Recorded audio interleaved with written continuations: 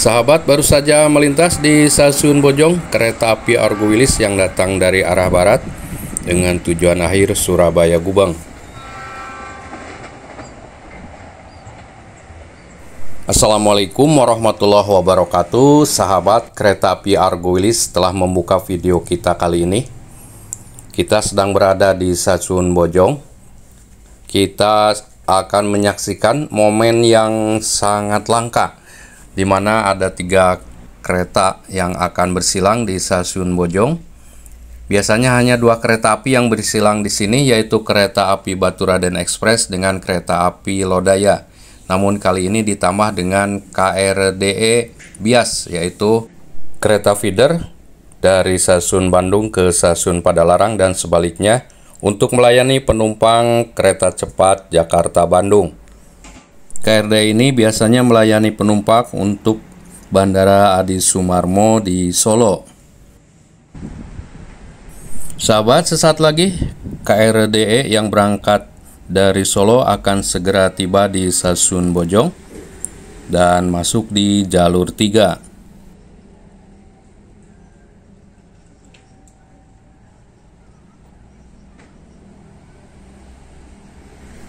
KRD ini oleh masyarakat dijuluki sebagai ulat hijau karena memang warnanya berwarna hijau seperti ulat.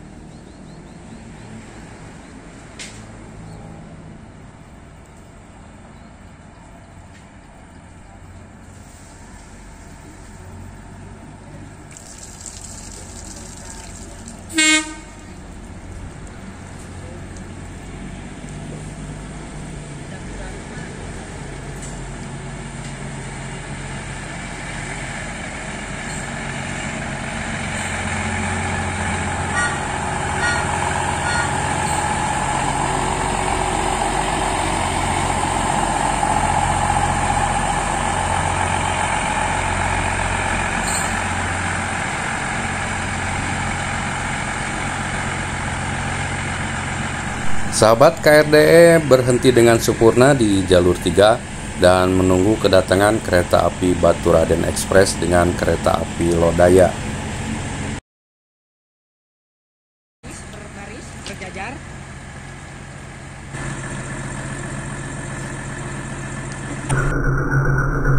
Kereta ini tergolong baru dibuat tahun 2023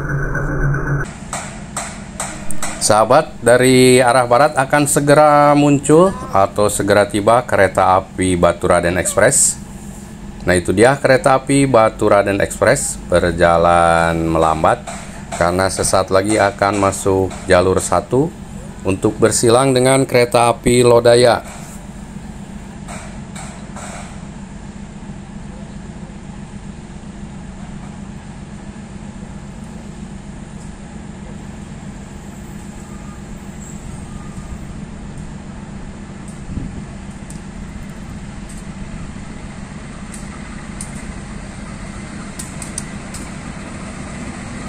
Sahabat kereta api Batu Raden Express ini sejak diberlakukannya GPK 2023 bersilang dengan kereta api Lodaya di stasiun Bojong. Biasanya bersilang di stasiun Banjar.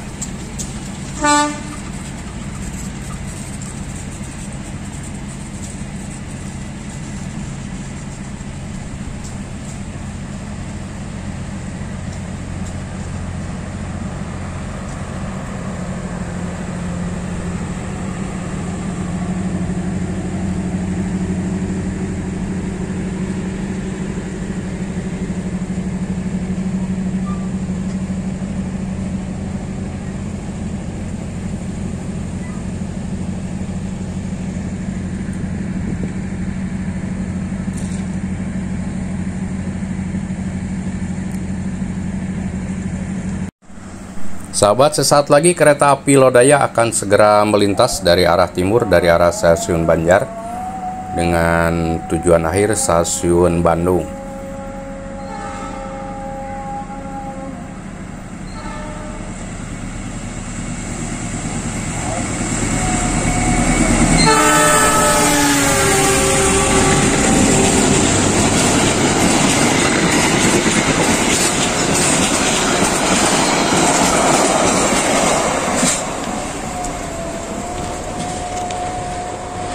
Kereta api Lodaya melaju dengan cepat menuju ke arah barat ke arah stasiun Ciamis dengan tujuan akhir stasiun Bandung. Setelah kereta api Lodaya melintas, maka kereta api Baturaden Express bersiap untuk diberangkatkan kembali. Semboyan 35 dari Baturaden Express sudah terdengar. Kereta pun berjalan perlahan meninggalkan stasiun Bojong.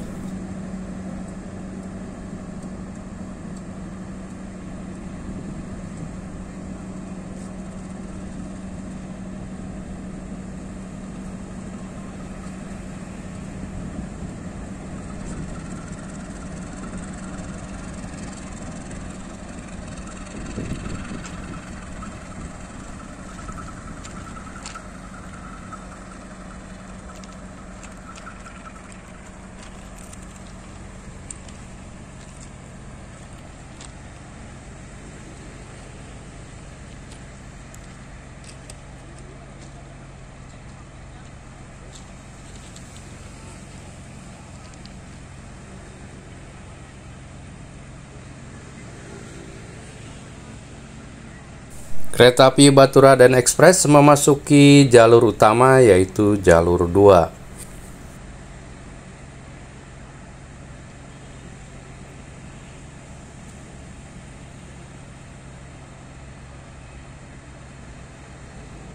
Setelah kereta api Batura dan Express meninggalkan stasiun Bojong, maka para kru dari KRDE bersiap untuk melanjutkan perjalanan, bersiap diberangkatkan kembali.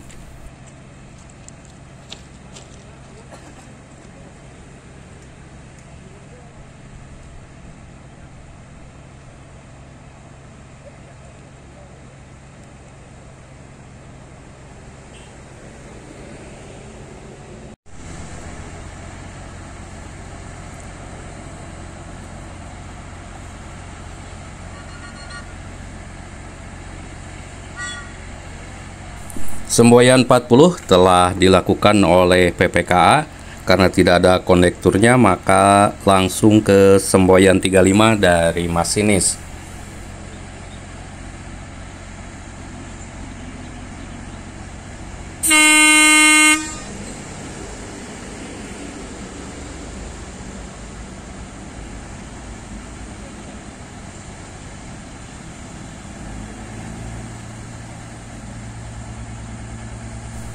KRD bergerak perlahan meninggalkan stasiun Bojong dengan tujuan akhir stasiun Bandung.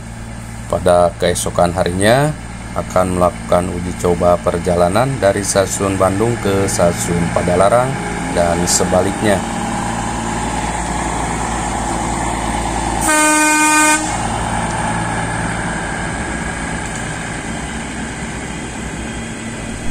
Sahabat, momen yang langka terjadi ini mendapat perhatian para rail fans dari Ciamis dan sekitarnya untuk mengabadikan kejadian langka ini.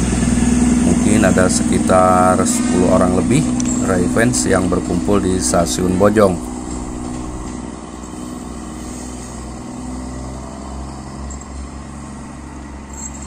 Sahabat, KRD akan kembali bersilang dengan kereta api yang lain, yaitu kereta api Pasundan di stasiun Indihiang, sebuah stasiun kecil di sebelah barat stasiun Tasikmalaya. Siap, siap. Sahabat, sekian video saya mengenai persilangan yang langka.